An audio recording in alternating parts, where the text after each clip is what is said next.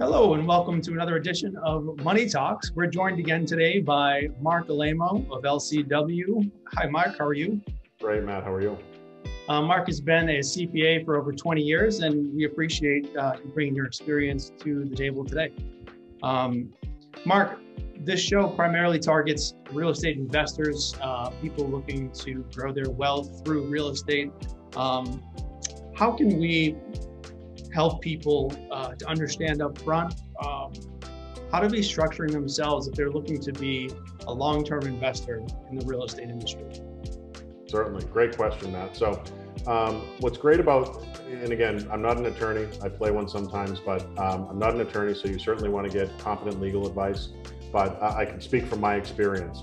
Um, first and foremost, whether it's one piece of investment property you want to buy or multiple pieces of investment property, you want to make sure that getting into this venture is not going to hurt you in case something catastrophic happens.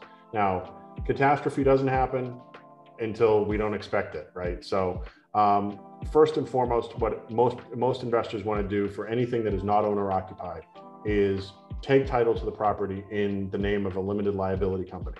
Uh, limited liability company essentially says at the end of the day, if it's an absolute catastrophe, the most that you can lose is the money and the equity that is in that limited liability company. You can't lose your house, you can't lose your checking account, you can't lose any personal assets, personal retirement, anything. Um, this is very different than a realty trust. Realty trusts are just straw trusts, so there's a little bit of privacy as to who the ultimate owner of a piece of real estate is. But so you want to take title in the name of an LLC.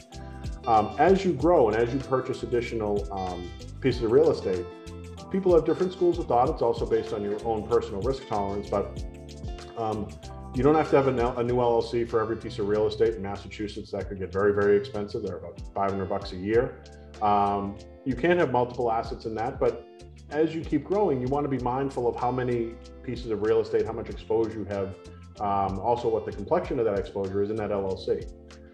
As you continue to evolve, though, it's not just, oh, let me just keep filling up LLC buckets you may want to get to a situation where you want to say, hey, why don't I create a management company that provides uh, more of a traditional corporate structure, enables you to more easily have uh, company health insurance, company retirement plans, uh, contribute uh, heavier earnings count towards Social Security, which many people do want.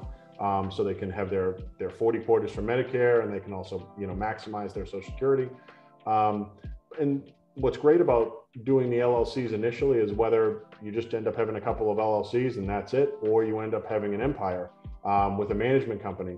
You're setting yourself down a path that um, you know really is dynamic and can be flexible based on uh, what your end goals and objectives are. That sounds great. Uh, so it sounds like thinking about not only LLCs but also um, getting into a management company is definitely something that we want to be looking into as long-term real estate investors. Um, Mark, thank you. We know you see this kind of stuff all the time. Thanks for being with us today. And thank you all for listening. Join in next time for another edition of Money Talks.